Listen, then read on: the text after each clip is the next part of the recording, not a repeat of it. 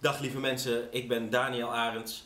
Ik ben eh, cabaretier en ik zou het heel erg tof vinden als jullie er met z'n allen voor zorgden dat de Engelenbak niet uh, verdwijnt. Het is het allerliefste theater van uh, heel Nederland.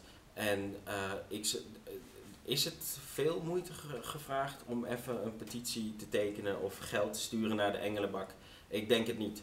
En als je er per se iets voor terug wil hebben, dan kan je een van de benefietvoorstellingen bezoeken.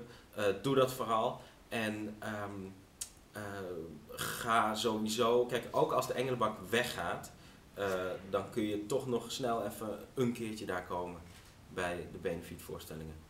ik zie jullie dan, u, ik zie u dan en alvast bedankt voor, voor je geld.